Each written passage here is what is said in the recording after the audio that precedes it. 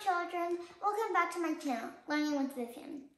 Remember, I, I, I do language, math, science, art, any skills, and you guys also can see me on some pretty fun adventures. Today, I'll be doing language. I'll be speaking Chinese. As you guys can see, I'm Chinese first girl. So if you have Chinese sibling or you are a Chinese viewer, well, good luck for you. You can, you can read along with me. This might be a little tricky. This is for third graders. Now let's start, shall we?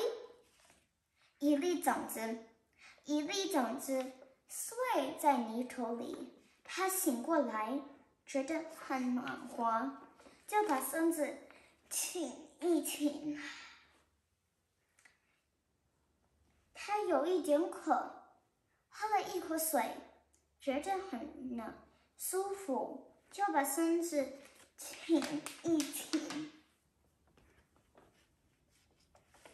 春风轻轻地吹着。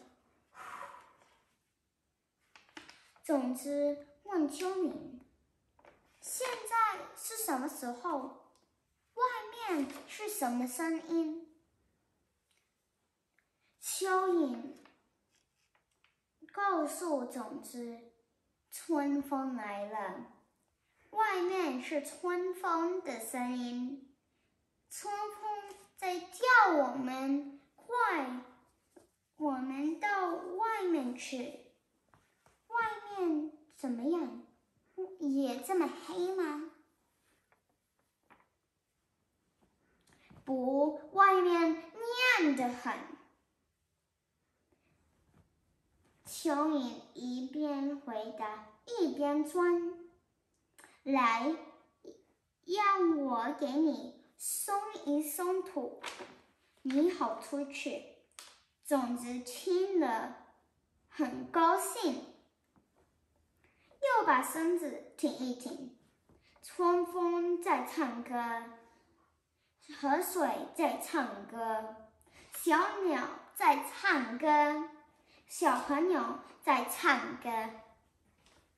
总之。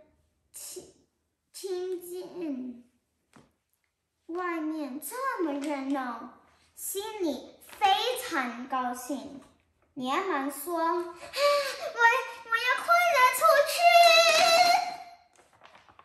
总之又把身子挺一挺，哈，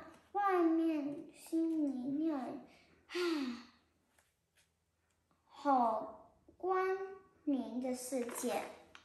Thank you for listening and also reading aloud with me.